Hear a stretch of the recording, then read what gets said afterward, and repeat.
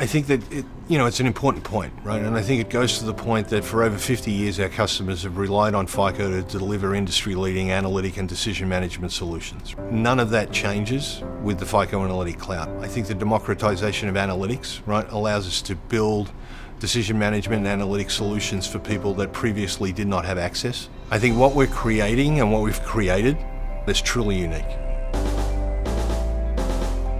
You know, FICO, so it's over 50 years old. Um, originally started with Mr. Fair and Mr. Isaac, who were originally asked to develop a scoring algorithm for store cards. What that resulted in was fundamentally a, you know, an analytics algorithm company. Everything we do is built around sort of analytic solutions and decision management. I think what you're seeing now with the establishment of the FICO Analytic Cloud, you know, is in some ways the instantiation of the vision of the organization to bring analytics to the masses. Well, I think Red Hat support us uh, sort of up and down the stack in that mission. The center proposition of the FICO Analytic Cloud is what we call our decision management platform.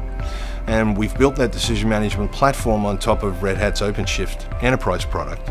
So the relationship we have with those guys that support OpenShift as a public offer and the guys that support OpenShift as a product today is, is more than I could have ever asked for.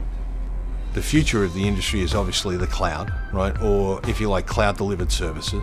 We believe that OpenStack is, you know, the future of elastic infrastructure, you know, and we were fairly committed um, to that as being the basis for the next generation of the FICO Analytic Cloud. But not only will we be using OpenStack and OpenShift you know, as if you like the underlying engines, but we'll be building all of our internal platform as a service offers, you know, around those two particular products as well.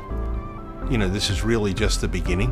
Um, I think it's going to be a hybrid model. I think we'll see the dissolving of the boundaries between private and public clouds. I think our relationship with Red Hat, um, you know, not to overstate it, is a huge example of what we consider value in a vendor. It's more than a partnership, right? It is a shared goal, shared vision, shared outcome type relationship. And I think that's the fundamental, you know, definition for me at my level um, of trust.